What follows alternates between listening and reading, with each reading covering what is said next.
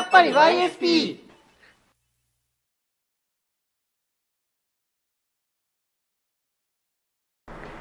皆さんこんにちは、えー本日の動画はこちら。XMAX250 の納車説明ですね、えーちょっとですねこのオートバイ想定よりも販売が好調でですね、えーなかなかバイクが来ないということでちょっとお待たせしてしまってご迷惑をおかけしている、えーそんなオートバイでもあるんですけども今のうちから使い方の手順を覚えていただいて、えーぜひご納車に備えていただけたらと思います。それでは早速いってみましょう。はい、えーそれではですねまず鍵の使い方の説明から入ってみたいと思うんですけども、えー鍵の使い方今回はですねこのオートバイスマートキーがついてますね。ちょっと見てみましょう。こういうのがついてます。スマートキー。はい、えー今回はこういったスマートキーというものがついています。さあこのスマートキーの使い方、えーこれから解説してみるんですけどもまずはですねこの鍵にボタンがついてます。一つだけ。実はですねここにあるボタンこれを長押しすると今スマートキーロックがかかっていて動かなくなってます。そしてこれをもう一回長押しすると、まあ、これランプがつくんですけどいきます。押してると光りましたね。ここですね。ランプがつくんですけどもこれでスマートキーのロックを解除することができます。そしてこのスマートキーロックの仕掛けちょっと気をつけていただきたいんですけどもこっち側の小物入れですね。ここにですねスマートキーロックをした状態で、えー中に入れてしまうとこの中にですねキーロックをして入れてしまう。そうするとですねもう開けられなくなってしまって結構ちょっと面倒くさいことになります。なのでまあスマートキーロック別に使わなくてもいいんですけども基本的には身につけといていただくこの鍵自体はということをお勧めいたします。それでは早速ですねスマートキーの使い方になるんですけどもこれはポケットとかそういったところに入れといていただければ結構です。それで、えーこのスマートキーを携帯した状態でここちょっと見てください。ここのスイッチを操作してバイクを動かすんですね。まずは、えーここ燃料が入ってる蓋ですね。リットになってます。そしてシート。この2つのボタンを操作してみたいんですけどもまずオートバイの電源を入れます。そして4秒以内にこのオープンというところちょっと見えますかね。ここオープンというところなんですけどここに回します。ここなんですけどね。隣オフの隣オープンですね。ちょっと映りづらいかもしれませんけども。それでこの状態でリットを押せばあごめんなさいここですね。ここが開きます。はい。そしてシートのボタンを押せばシートを開けることができます。ただしこのスマートキーがあスマートキーというかこのオフの状態。オフの状態ではもちろんどちらも開きません。押しても開かないですね。あくまで電源を入れてオープンの位置に回して初めて、えー開けることができます。そしてこちら側こちらをですねワンプッシュして少し隙間が空きますから手前に引けば開きます。そしてここにですね赤いシールが貼ってあるんですけども軽く閉めた状態なんか車でいうハンドアみたいな状態だとちょっとここカメラじゃ分かんないかもしれないんですけど上から見た時に赤いシールが見えます。これハンドアの状態です。ちゃんと閉めてくださいという感じになってます。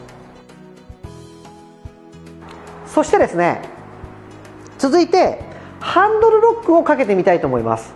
これもですね同じようにハンドルを左に切ってですねそしてここのスイッチ押して、えー押したままロックの方向反時計回りですね回していただくとハンドルロックをかけることができます。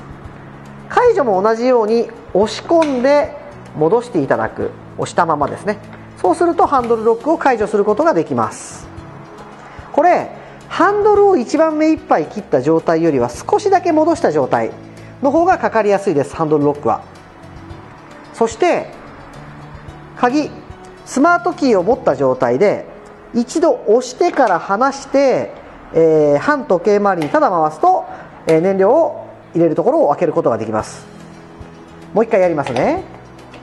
これ押して反時計回りに回すとここが開きます。そして押して押し込んだまま半時計回りに回すとハンドルロックです。押し込むとハンドルロック。押し込まないと燃料の、えー、リットが開きます。そういう仕掛けになってます。続いて、えー、ハンドルスイッチの説明に入りたいと思います。ハンドルスイッチはですねまあちょっとボタン多めです。左側、えー、ハイビームロービームそしてパッシングスイッチですね。下に押すとパッシングします。そして、えー、これがですねウインカーですね。左に出すと左が光る。押すと消えます。右も同じですね。押すと消える。そしてこれがホーンですね。そして右手側。行ってみたいと思います。右手側のスイッチはこれ上が切るスイッチ。エンジンがかからなくなるスイッチですね。エンジンを止めるスイッチですね。そして真ん中が、えー、通常の走行状態。そして下に押すとエンジンをかけることができます。セルスイッチとキルスイッチが共用になっています。そしてこれがハザードスイッチですね、えー、左にスライドさせていただくとハザードランプが点滅いたします。そしてこの下よく見ると左側トリップこうですね。そしてインフォとあります。このスイッチはですねメーターの使い方のご説明のところで少し、えー、触れてみたいと思います。続いてメーターの使い方の説明をしてみたいと思います。まず、えー、キーをオンにするとこのような動きをします。そしてですね一番左側これスピードメーターですね。そしてこれ回転系タコメーターです。で今ここで光ってるのが ABS の警告灯です。これ ABS が正常に作動していることを感知して消えます。なのでちょっと走ると数メーター走ると消えます。つきっぱなしになると故障ということになるんですけどもただですね、えー、普通のブレーキになるだけで ABS が動かなくなるだけです。ブレーキが効かなくなるわけではないですね。はい。なのでこれが消えなくなったらお店の方に、えー、修理に持って行ってください。そしてこここれ水温計です。そしてこのこっち側のやつは、えー、燃料計です。そして上はちょっとインフォメーションディスプレイになってます。後でやりますけども。真ん中時計です。そして下が、え、走行距離に今なっています。ここでですね、え、右手側。右手側のスイッチのですね、えー、を左に操作すると今トリップになりましたね。もう一回押すと、えー、タイムトリップ。これ時間を計るものですね。そしてオイルトリップ。V ベルトトリップ、えー、オドメーターというふうに、え、右手側のスイッチを、え、左に動かすたびに変わっていきます。ちょっとスイッチ側を見てみましょう。これを左に動かすとメーター表示が変わっていきます。動かすたびにオドメータートリップメータータイムトリップメーターオイルトリップメーターという形で動いていきます。もう一度メーターに戻ります。今これオドメーターになってます。走行距離ですね。そして1個押すとトリップメーター。このトリップのところで右手側ハンドルスイッチを左に倒す。押した側ですね。長押しするとゼロにできます。まあこれ今ゼロなんで。もう一個隣。これタイムトリップですね。これも左に押すとしばらく押しとくとゼロになります。今ゼロになりましたね。というふうにリセットするんですがこのオイルトリップはお店でリセットしていただく形になるので普通にやってもリセットできません。実はですね15秒から20秒長押しするとリセットはできるんですけども基本的にはオイルを変えた時にリセットするものになりますので、えー、気軽にリセットするのはやめましょうと。オイル変えたらリセットしてください。ベルトも同じですね。というふうに、えー、なっています。それではですね、えー、一番上側のインフォメーションディスプレイ見ていくんですけども今これ、えー、外気温を表してます。そして右手側のスイッチを押すごとにですねこれバッテリーの電圧です。そしてもう一回押すとトラクションコントロールの表示ですね。そしてもう一回押すとこれが、え、燃費計です。これはですね平均燃費ですね。これも2種類の表示方法があります。お好きな方を使ってください。そしてその次これが、えー、瞬間燃費計これもですね2種類押すごとに切り替わります。そしてもう1回押すと平均車速度表示というふうな形になります。このように、えー、押すごとに切り替わっていきます。ちなみにトラクションコントロールシステムはですね、え基本的にこうオートバイのタイヤの空転を防ぐもの安定して走行するためのものになってます。もちろん無敵ではないので過信は禁物なんですが、えこういった装備によって安全性が増しているということですね。このトラクションコントロールの表示を出したところで、え右手側のスイッチの、え右側を押し続けるとトラクションコントロールを一時的にカットすることができます。これはバ、えー、キーをオフにするとですねまた、え、自動的にオンに戻るんですけどもぬかるみにはまってしまってタイヤが空転して出られないなどそういった時にはこれで、え、解除することができます。続いて時計を合わせてみたいと思います。まずはですねキーをオフにします。そして、えー、これをですねそしてこの状態でトリップスイッチ右手側ですね。右手側のスイッチをトリップのところを押したままですねメインスイッチをオンにしてそのまま8秒間我慢します。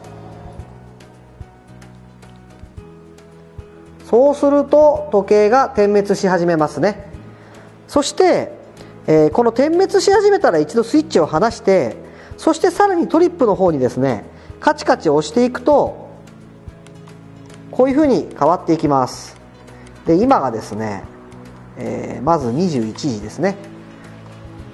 そしてこれでまずいいと思ったらまずは21時 OK でしたらトリップの方を3秒押してそしてボタンを離すとですね次32のところが点滅してますね。で今39分なのでまた、えー、ここを動かしていきます。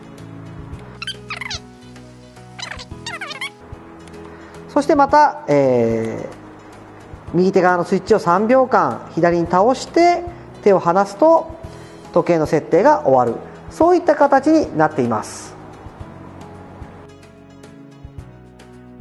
続いてアンサーバックブザーという機能がこれついています。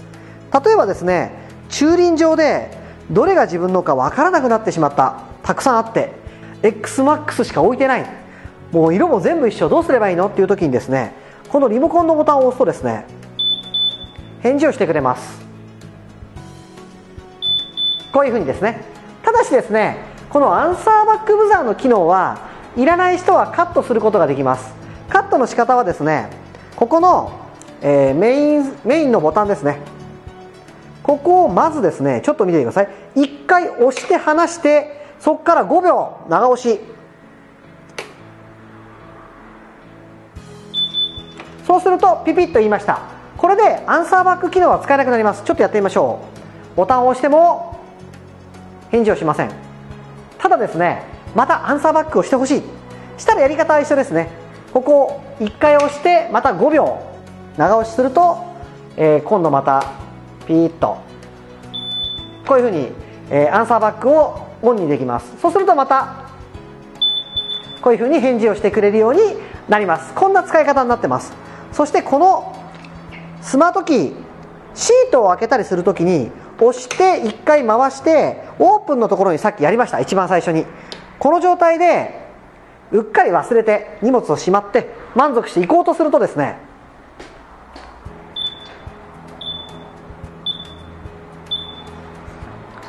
このようにですね、えー、切り忘れの警告をしてくれます。なのでこういった音がしたらあ切り忘れてるんだなということで戻してあげてください。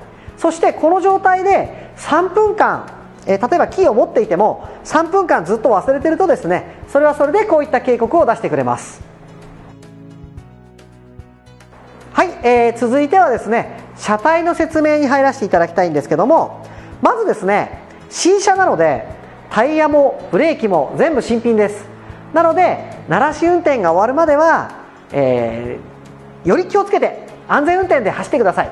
もちろん鳴らしが終わっても安全運転がいいんですけども、えー、基本的には特にタイヤも滑りやすいブレーキも効きが甘いと思ってですね丁寧な運転を心がけてください。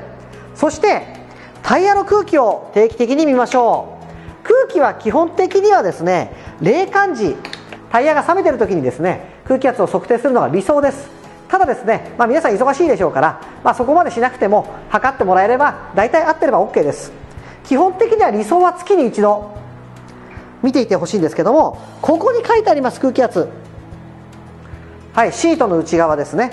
で標準がフロントが2キロ後ろが2.25キロ。というような表示になってます。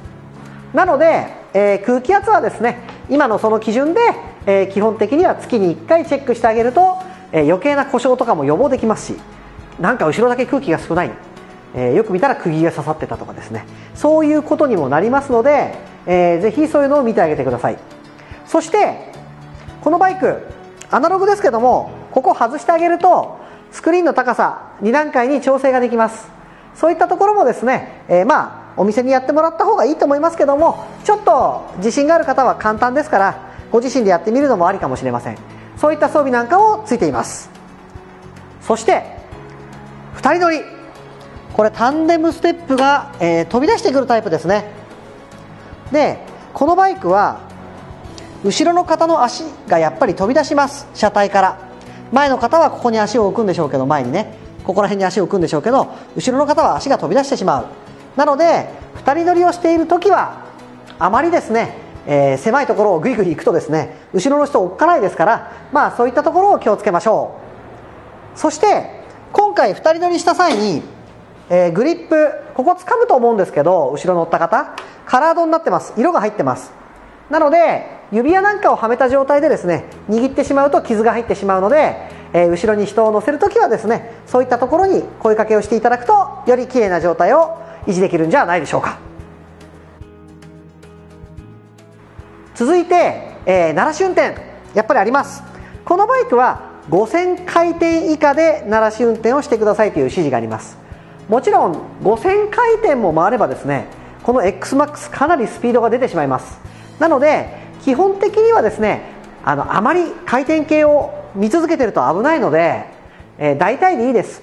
街の車のスピードに合わせてですね、えー、標準的に安全運転をしていただければ勝手に鳴らし運転になってしまうぐらいの性能はありますので急発進急加速を避けていただいて、えー、鳴らし運転をしていただければいいんじゃないでしょうか。そしてオイル交換を終えてから、えー、普通のまあちょっと飛ばしたい人は飛ばしてもいいと思うんですけどそういう使い方をしていただくことをお勧めいたします。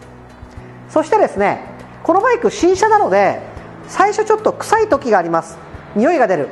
ただですね、えー、別におかしいことではないです。皆さん例えばタオル使う時なんかも新品のタオルって臭いと思うんですけども同じです。ちょっとですねマフラーなんかからあの新車の匂いがするんですけどもまあ基本的には異常じゃないのでまあそんなに心配されなくてもいいと思います。そして車体カバーをかぶせるときはですねオートバイが冷めてからかけることをお勧めしてます。やはりですねあったかい状態でかけてしまうとですね中に熱気がこもってですねあの逆に傷めてしまうともったいないので基本的には少し冷ましてからですねカバーをかけていただくのがおすすめとなってます。続いてエンジンを少しかけてみたいと思います。キーをオンにした状態でブレーキをどちらでもいいです。好きな方を握ってください。握ってそしてこの赤いボタンを下側を押すとですねエンジンがかかります。ただし安全装置がついていてサイドスタンドが出ているとエンジンが止まる仕掛けになっています。もし動かないなと思ったらサイドスタンドのチェックを、えー、してみてください。そして大切なことがあるんですけどもスマートキーをですねこれ一個一個に、えー、スマートキー ID というのが入ってます。